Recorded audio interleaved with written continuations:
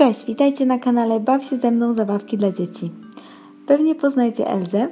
Elza to jest księżniczka z filmu Frozen już wcześniej pokazywałam Wam Elzę w innych filmikach. Otwierałam pudełko z Elzą, był, był unboxing, a także wymyślałam dla niej jakieś inne ubranka.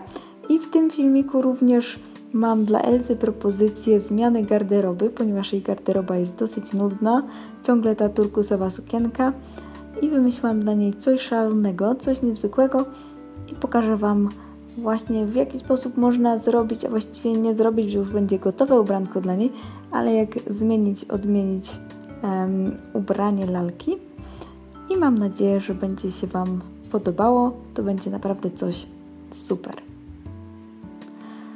I tak prezentuje się Elza w nowej sukience.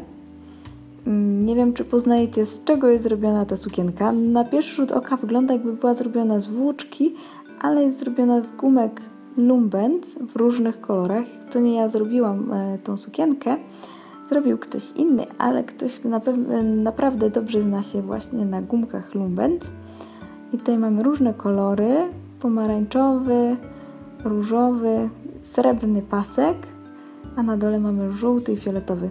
Z tyłu sukienka jest tak specjalnie zebrana, żeby się dobrze układała i jest e, na szyi zapięta na typowe zapięcie klips do bransoletek z Lumbens.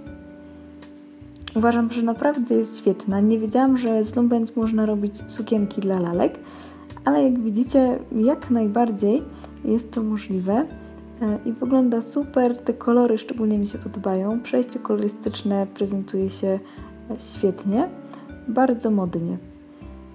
W każdym razie Elza jest bardzo zadowolona i mi się to również bardzo podoba. Mam oczywiście wielką nadzieję, że e, Wam również spodobała się nowa sukienka Elzy. Zachęcam Was do subskrypcji tego kanału oraz do oglądania innych filmików na tym kanale. Do następnego razu. Cześć!